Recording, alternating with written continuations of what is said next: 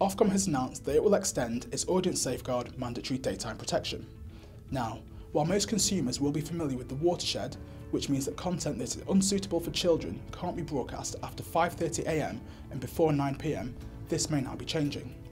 Currently, premium subscription film channels are able to broadcast films with up to a 15 rating during the daytime, providing that they have mandatory daytime protection. In effect, this means that consumers will have to input a PIN number before being able to access that content. So, what has changed? Well, the watershed essentially remains as is. However, Ofcom has specifically considered modern viewing habits, in particular the prevalence of on-demand services.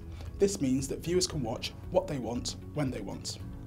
So, with effect from the 1st of January 2019, Ofcom will be introducing a number of changes to the Ofcom broadcasting code. This means that content that would otherwise only be suitable for broadcast after the watershed can now be broadcast during the daytime, providing it has mandatory daytime protection. However, this will only be possible on subscription television platforms where they can implement this across all devices. So, what does this mean for consumers?